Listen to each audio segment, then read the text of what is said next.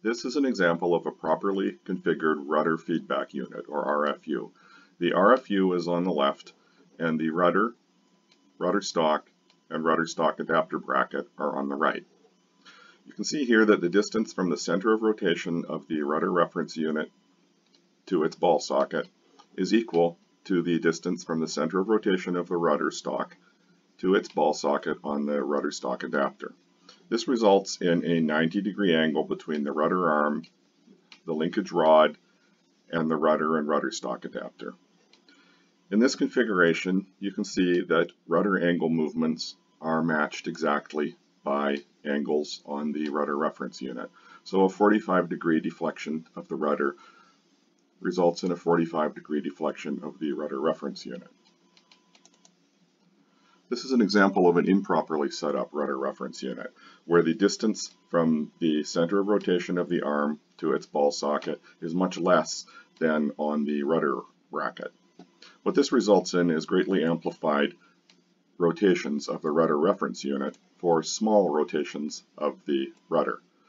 So a 10 or 15 degree angle on the rudder is resulting in a 45 degree deflection of the rudder reference unit.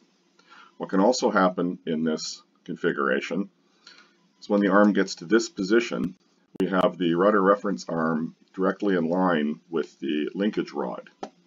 At this point, when the rudder tries to rotate back, it's a 50-50 chance whether the rudder is going rudder reference unit is going to go in the correct direction or continue on past 90 degrees and result in complete mechanical breakage of the rudder reference unit.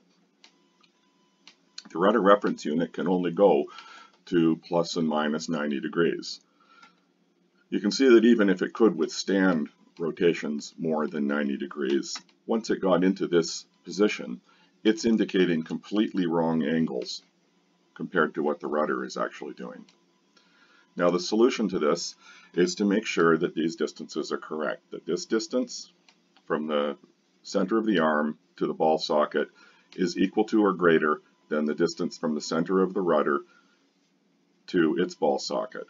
If you end up in a situation where this distance cannot be matched exactly by one of the holes on the rudder reference bracket, use the hole at the smaller diameter, not the hole at the next larger.